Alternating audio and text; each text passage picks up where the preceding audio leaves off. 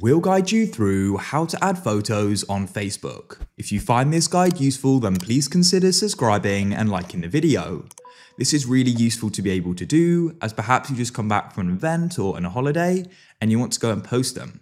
So to get started, come to the homepage of Facebook and you can go to the top and tap on what's on your mind.